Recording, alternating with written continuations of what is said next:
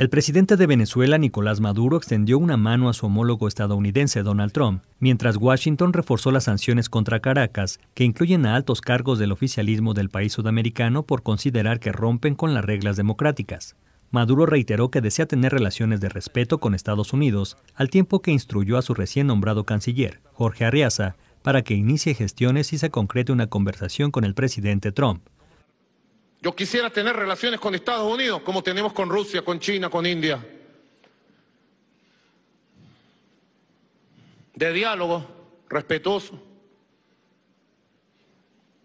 Al presidente Donald Trump, que nos diferencian abismalmente muchas cosas, yo le digo, le planteo un camino para que su nombre no quede manchado para siempre como quedó George Bush y Barack Obama. No subestime a Venezuela, presidente Donald Trump.